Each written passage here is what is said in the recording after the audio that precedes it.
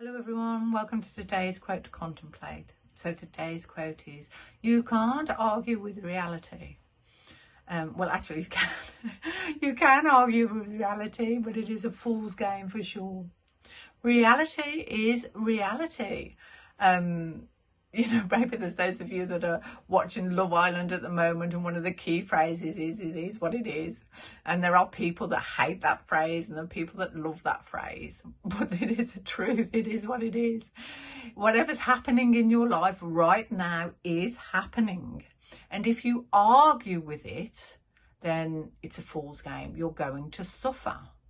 So by argue it with it, I mean that your thoughts that say, I don't want this, this isn't right, this isn't fair, it shouldn't be this way. All of those kinds of thoughts, you're putting yourself in a place of resistance with what is.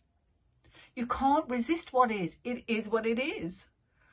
But when you open yourself up to that deeper dimension of truth, which of course is what your SEJ practice does for you, you're able to come into alignment with what is no longer arguing with life, therefore no longer suffering mentally and emotionally.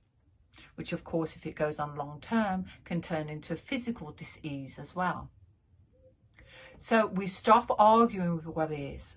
When we allow reality to be what it is, as we practice our SEJ and seek the truth in relation to this present moment, the deeper truth within that is not only is it is what it is, but what is is exactly what's needed.